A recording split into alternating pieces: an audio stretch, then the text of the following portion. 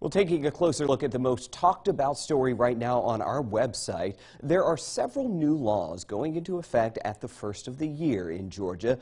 These are three of those. More of your income tax dollars in the state will be going to help hospitals. This new law raises the cap by $15 million. That will help in places like Bryan County, where work is underway to get a hospital. Also, there will be an extra step for online marketplaces to protect buyers from purchasing stolen things and keep criminals from making a profit. And there is some relief coming for food truck owners. Instead of having to get a permit for individual county, Georgia is changing to a permit system that will work statewide.